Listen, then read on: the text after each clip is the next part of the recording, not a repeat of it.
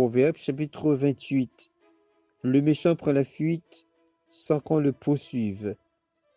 Le juste a de l'assurance comme un jeune lion.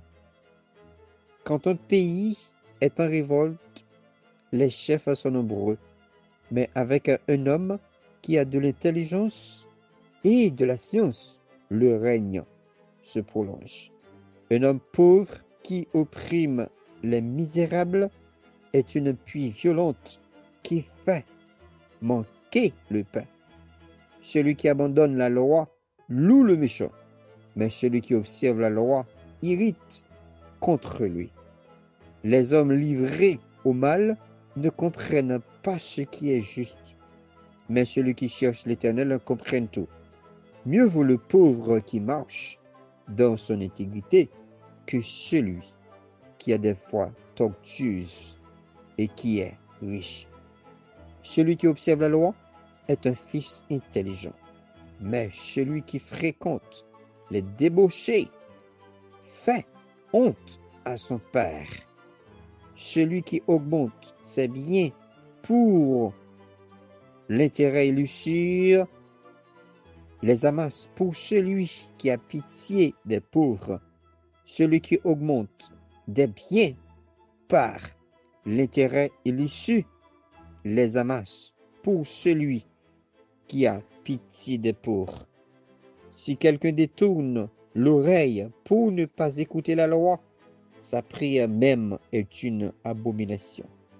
Celui qui égare les hommes en droit dans la mauvaise voie tombe dans la fosse qu'il a creusée.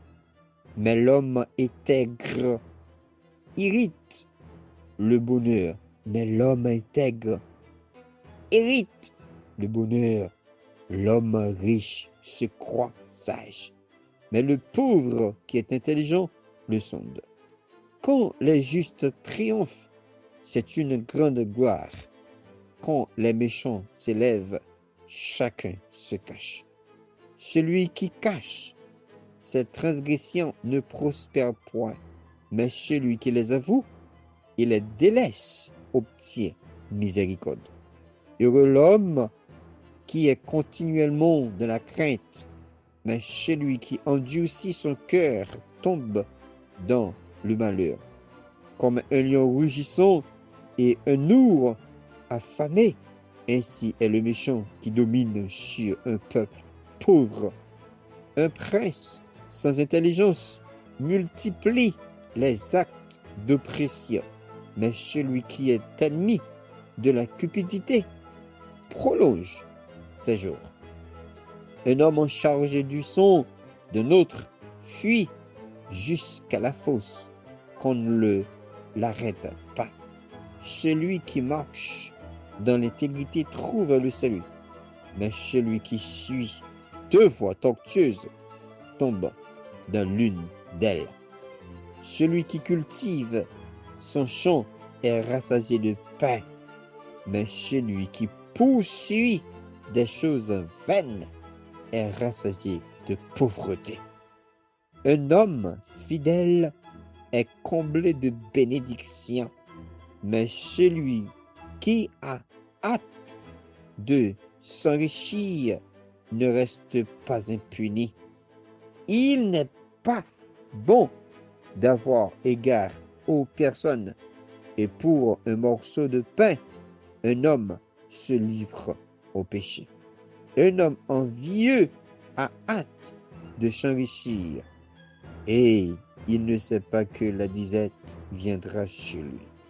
Celui qui reprend les choses trouve ensuite plus de faveur que celui dont la langue est flatteuse. Celui qui vole son père et sa mère est dit, ce n'est pas un péché. Et le compagnon du destructeur, l'orgueilleux, excite les querelles. Mais celui qui se confie en l'Éternel est rassasié. Celui qui a confiance dans son propre cœur est un insensé. Mais celui qui marche de la sagesse sera sauvé. Celui qui donne aux pauvres n'éprouve pas la disette, mais celui qui ferme les yeux est chargé de malédiction. Quand les méchants s'élèvent, chacun se cache, et quand ils périssent, les justes se multiplient. C'était juste Proverbe chapitre 28.